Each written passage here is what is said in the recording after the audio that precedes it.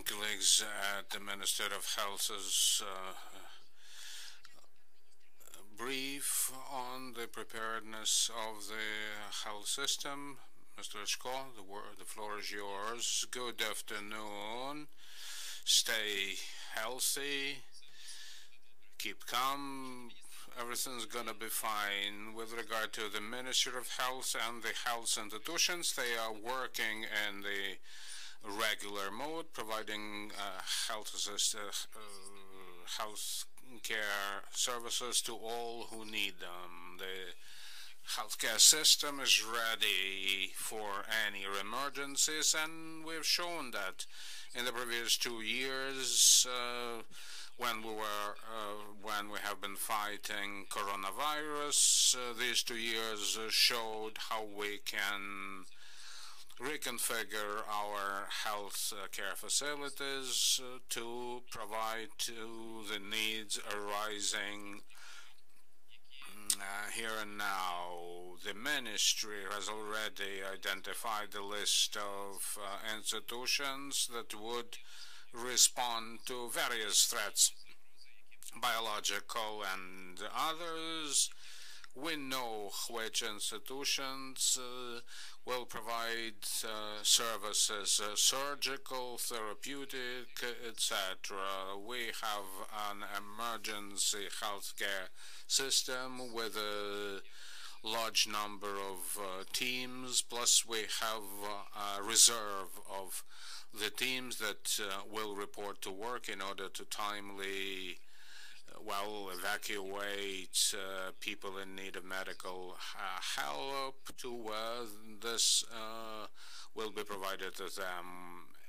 We've also uh, have uh, medical where we use SEC and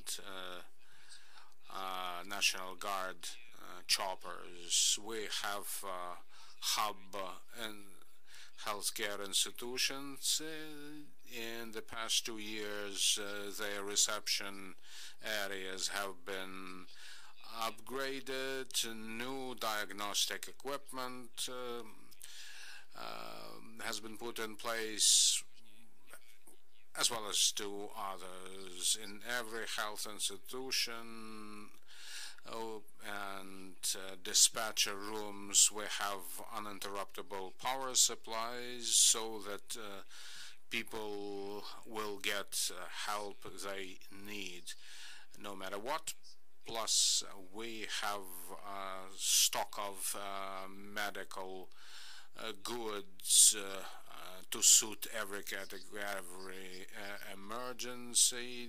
These stocks of are one month and three months uh, long. Plus, uh, we have now uh, provided yet another package that'll be used to maintain our pool of professionals in the healthcare system and there'll be additional funding available to restock um, the supplies uh, using the medical guarantees budget. Well, the list of institutions providing uh, uh healthcare uh, assistance include uh,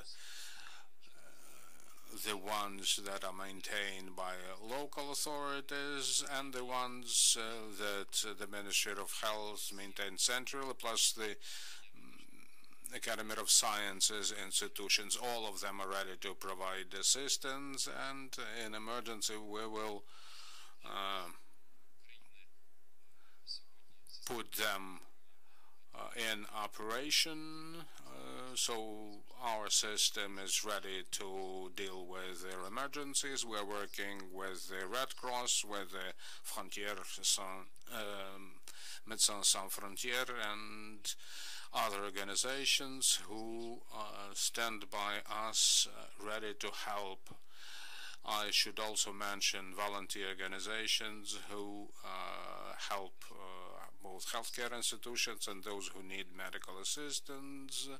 We have carried out audit of uh, um, all the institutions, uh, and we are therefore confident everything gonna be uh, fine. However, no one can be ready for humanitarian um, catastrophes. It's best to prevent those. So, as a doctor, as a minister of uh, health, I am the last person who'd be looking forward to any conflicts that might cause damage to health, uh, let alone life. Uh, so where diplomacy can work, let it work.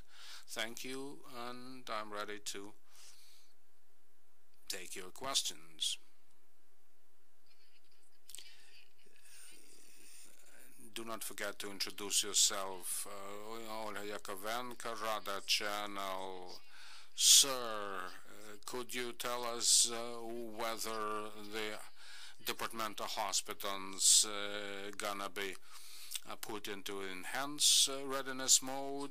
Well, the hospitals work 24 by 7 at any rate as the regular uh, hospitals and emergency services. Uh, if the low caseload increases, additional teams will be deployed both in regular institutions, uh, on duty. Uh,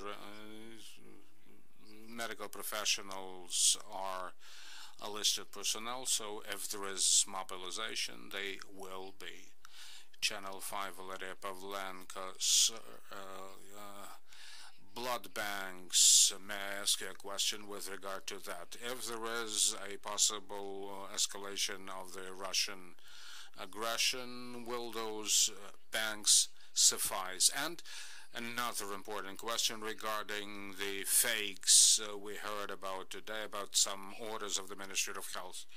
Well, uh, blood banks and then medical supplies. Uh, there's enough. Uh, we have uh, reserves uh, in place. So I can say that everything's uh, is okay. However, blood donation isn't as developed as in EU.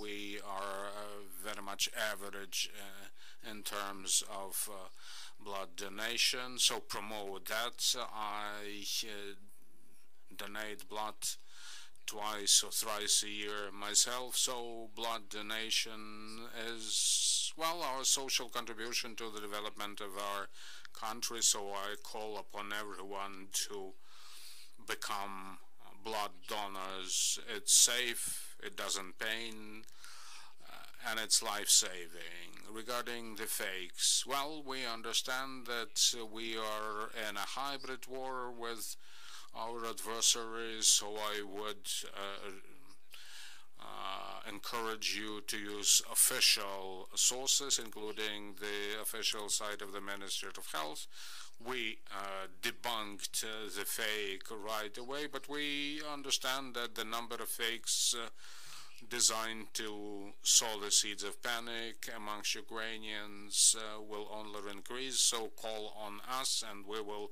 provide you with true information to stop the dissemination of lies. Uh, thank you